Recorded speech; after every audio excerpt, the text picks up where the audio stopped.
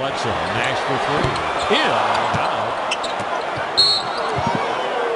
The top down hard was Artest. But Blake Griffin who delivered that blow. And he gets positioned for the rebound. Blake's just tired of people beating up on him. So Griffin will draw the foul. Metta World Peace will go to the line. Elbow catches both face and arm. Foul number 32, Blake Griffin. They're going to look at it, Ralph. personal.